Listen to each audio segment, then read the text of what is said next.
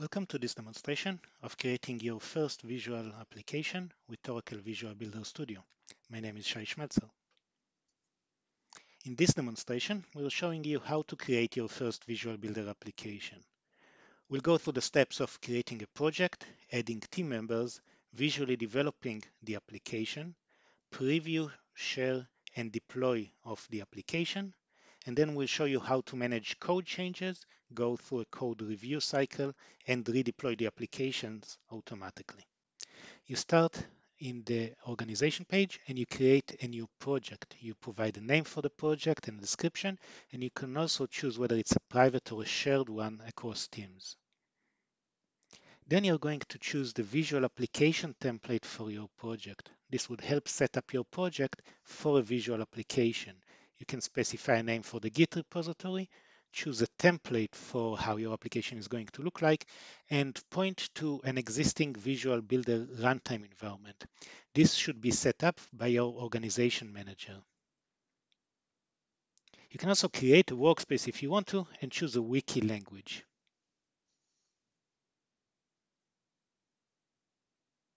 Let's click Finish to create the project.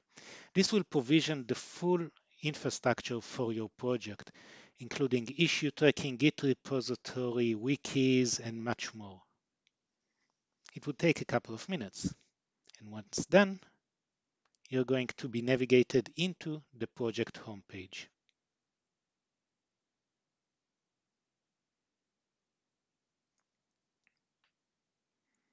Let's look at what happened in the project so far using the activity stream that is right here in the middle. If we scroll all the way to the bottom, we'll see what happened in our project. We created a project and then created the Git repository in this project. We then committed into this Git repository the template application based on the template that you chose in the wizard. The next thing we did is create a couple of build jobs that would take your application and package it, as well as another build job that would take your application and deploy the application. There's one more change that you need to do to one of the build jobs, and that's the deploy job. If you click on the build area, you'll be able to go to the deploy job, click on it, and then you'll be able to edit the configuration of this job.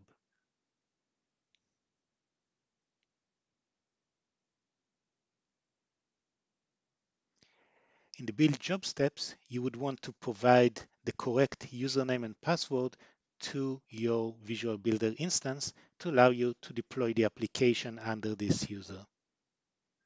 Once you're done, click Save and your deploy job is now ready. Now we're ready to start working on our application.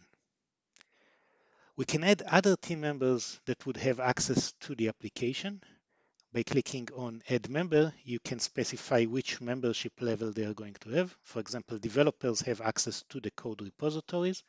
And then from the list of users, you can pick up the member of your organization that you would like to add to the specific project.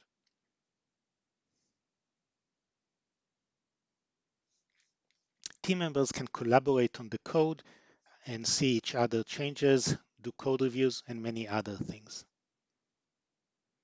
Now let's go over and see our Git repository. In our Git repository, we currently have the base template application. You can actually go and access each one of the files and modify them directly from here, but an easier way to modify a visual application is through the designer. We're going to click to create a new workspace and provide it with a name. A workspace can start from the existing Git repository, which is what we're doing here. We're going to create a new branch uh, from the master for this repository. But you can also create a completely new application from here or import an existing application by pointing to a zip file uh, of the exported application. Once you create the workspace, we're going to then navigate you automatically to the visual editor where you'll be able to modify the code. The workspace is kind of your local copy of the code. In this example, we're going to very quickly develop an application that accesses this REST service. This REST service uh, provides information about various countries. We can test the REST service from here, see the result, copy them as a sample for our response, and create the connection to the REST service. And then we're going to create a little web application that would show us the list of countries. So provide a name for the application, choose a template, and then you'll be taken into the visual editor for designing your web page. We'll pick up a table component and put it on the page right after this heading up here.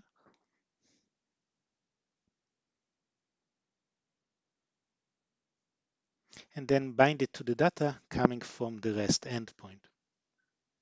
We'll choose the specific fields we want to show, such as the flag, the name, and the capital of the country. Let's switch the type of display for the flag to show an image uh, choose an ID for the record and click next and finish to populate our table. So we did some changes in our application code. We are working on our specific branch of the code, the UI work, and now we're ready to commit the changes or even push them into the Git repository. So again, doing a push here, we can provide a commit message, and this would push it into the branch that we created in the Git repository in Visual Builder Studio. We can test our application by hitting the Run button and getting a preview of the application in our browser. So this is how the application is going to look like. This is one option called the preview. Another option is sharing an application. Sharing an application would actually take the application and deploy it to our environment and give us a shareable URL that we can then send to other members of the team to test the application.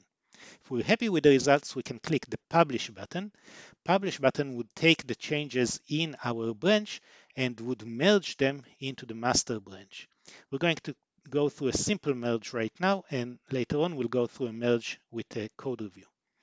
A simple merge basically takes your code um, and commits it and then merge it into the master branch, assuming there are no conflicts. And then it's going to start the deployment process for your application. So let's go back to our project in Visual Builder Studio, just clicking on the title over here. And in our activity stream, we can see that the job has started and is right now executing. If we click on this job, we'll see this is the package job. Let's go into the configuration to see why this job started. And we can see that the job is hooked up to our Git repository to the master branch and is automatically invoked each time there are changes in the master branch. Since we merged code into the master, the job has started. The job is going to optimize our application and then generate zip files with the artifacts that we want to deploy.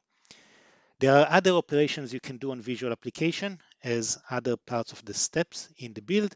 You can also do the deployment using the Oracle deployment step, which is what is being done in the deploy um, job that we see here. Okay. Now, these two jobs are actually hooked up together in a pipeline. A pipeline streamlines several jobs into a flow. In our case, once we run the package job, the next thing we'll do is run the deploy job. And you can actually see up here, the deploy job just started now because the package job finished. Click on the pipeline to see the latest run and you can see the status of each of the jobs. Green indicates successful uh, compilation. Um, gray indicates something that is in progress. And if we would see red, it means the job failed. But we can see that our deploy job actually completed successfully. So we can now go back to our environments. Over here, we have the connection to our Visual Builder runtime. In this case, it's part of Oracle Integration Cloud.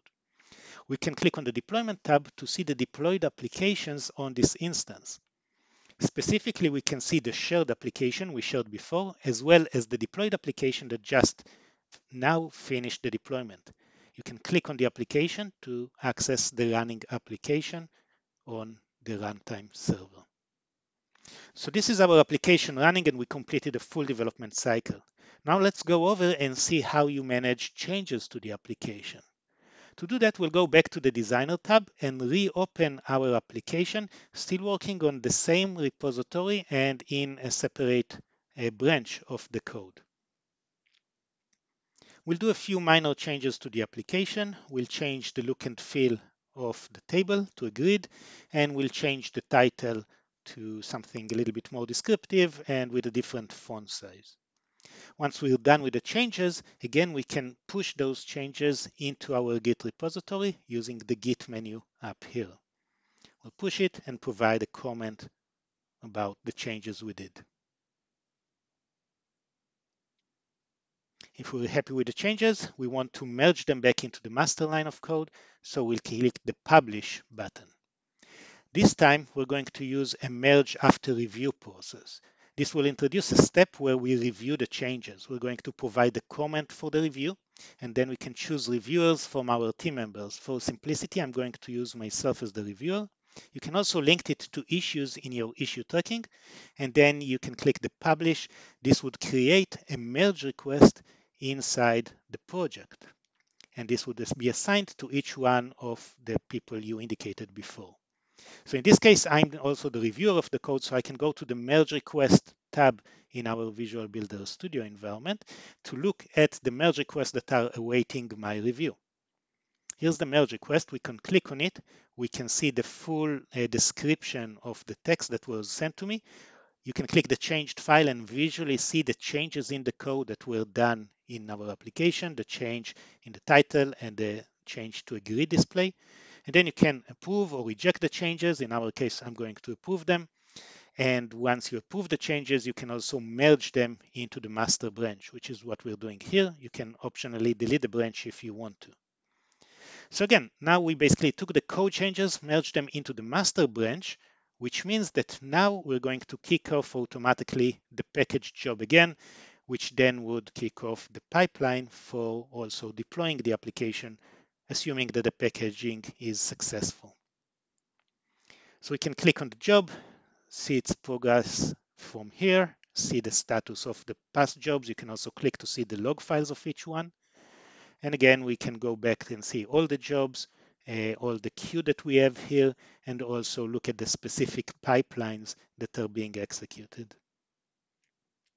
Right, so now we're doing the deploy job, taking the application and redeploying it. It's finished successfully, which means that we can go to the URL we were on before and just refresh the page to see the changes to the deployed application that have been implemented. So this is the full development cycle with Visual Builder Studio.